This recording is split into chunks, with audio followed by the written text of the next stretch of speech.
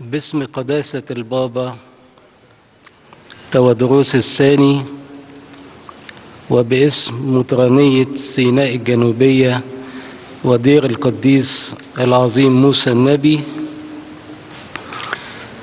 أحيي السيد المحافظ خالد فودة على فكرة هذا المؤتمر واهتمامه به اهتمام خاص والإعداد له كما أحيي القائمين على هذا المؤتمر.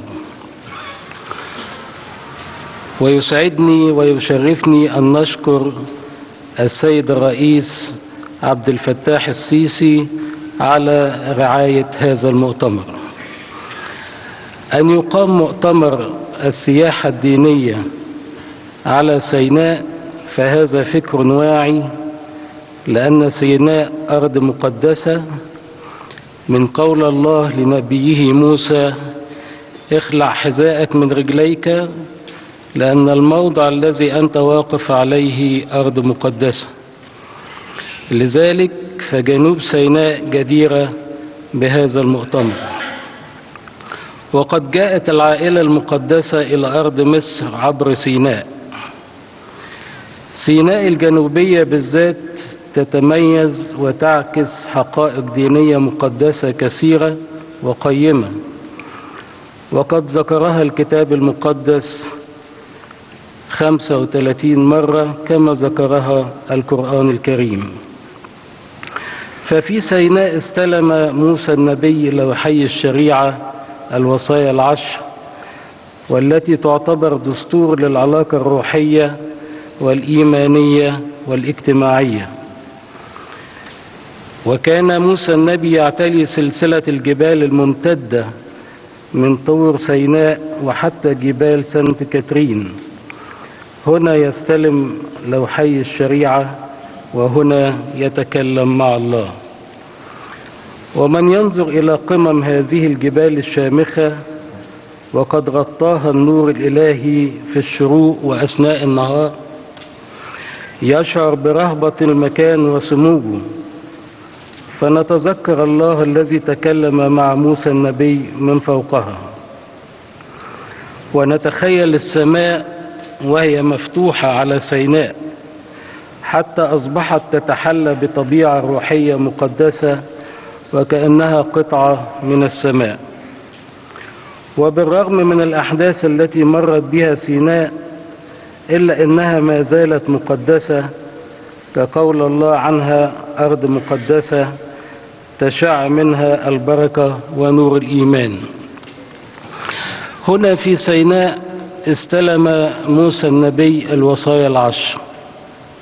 وهنا تكلم الله مع موسى النبي من فوق الجبال. هنا تحطمت عبادة الأوثان عندما طحن موسى النبي العجل الذهبي الذي كان يعبده شعب بني إسرائيل حتى أصبح كالبدرة الناعمة وزره في المياه الجارية ووبخهم على ذلك. هنا أطعم الله الشعب من المن والسلوى وعالهم في برية سيناء وكان يقودهم في النهار بسحابة تظللهم وبالليل بعمود النار ينير لهم الطريق.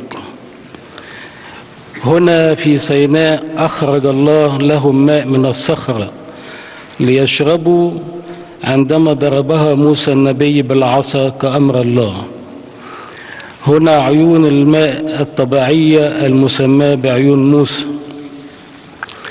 وهنا عاشت الرهبنة التي أسسها الأنبا أنطونيوس المصري.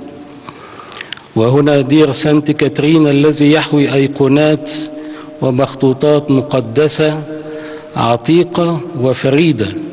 ليس لها مثيل على مستوى العالم كما في فيران وطور سيناء أيضا. وهنا العليقة التي كلم الله موسى منها وظهرت النار ولم تحترق العليقة. كما في عصرنا الحاضر أيضا نرى التعمير ونرى اللمسة الدينية ما زالت ممتدة حيث بنيت كاتدرائية السمائيين أحد معالم الكنيسة المصرية الأرثوذكسية في شرم الشيخ والتي ساهمت الدولة فيها. كما بني مسجد الصحابة والذي يعد صرح كبير يحسب لمن بني في عهده والذي يوليه السيد المحافظ دائما اهتماما حتى خرج بهذه الصورة المعمارية المتميزة وأصبح من معالم شرم الشيخ ندعوكم لزيارته. لقد وضع الله في سيناء البركة في الأرض والزرع والثمار والماء والهواء والطقس وأصبحت ذات قيمة وطبيعة خاصة مقدسة. حتى إن كثيرين يأتوا لأخذ بركة المكان والاستشفاء النفسي والجسدي والروحي وكان كثيرون أيضا يأخذون من أحجار الجبال في سيناء ويضعونها في أساس مبانيهم للبركة. في سيناء قال الله لموسى النبي أنا أكون معك. والكتاب المقدس يقول إن كان الله معنا فمن علينا. فعبارة أكون معك يشعر بها كل قلب صافي يأتي إلى سيناء ويطلب معونة الله. فتمتد مفعول هذه العبارة لتشمله هو أيضا. بل تكون هذه العبارة التي قالها الله لموسى أنا أكون معك كنز يعود به من زيارته لسيناء.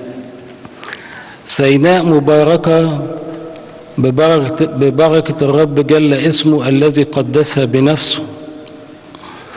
يعوزني الوقت الكثير إذا تكلمت عن سيناء المقدسة وما حباها الله من بركة حتى في رمالها. لذلك أرجو أن تتبنى الوزارات المعنية مشروع هذا المؤتمر وما يخرج منه من توصيات ويدعو الأجانب من حول العالم للسياحة الدينية في جنوب سيناء للتعرف على هذه الأماكن المقدسة والمعالم الدينية وأخذ بركتها. فضلا عن الاستمتاع بالطبيعة المتميزة لهذه المحافظة. كما أرجو أن تتبنى أيضا الوزارات المعنية مشروع رحلة موسى النبي في سيناء ومحطات الوقوف والأماكن المقدسة وتوضع على خريطة لكيما تكون مرشدا للسائحين الذين يأتوا ونحن على استعداد للمساعدة في هذا الأمر. حتى تصبح السياحة الدينية في سيناء على درجة من الأهمية إلى جانب السياحة الثقافية والعلاجية والترفيهية.